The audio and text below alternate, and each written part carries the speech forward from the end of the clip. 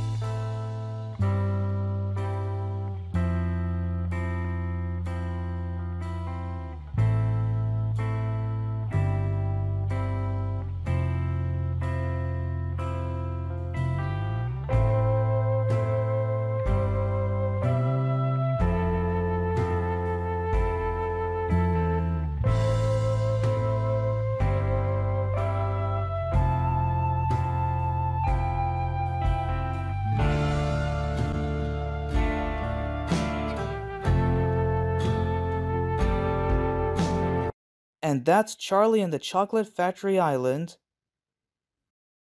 Thanks for watching, and please subscribe for more episodes of the second Poptropica road trip in a flash. What is your favorite Charlie and the Chocolate Factory memory?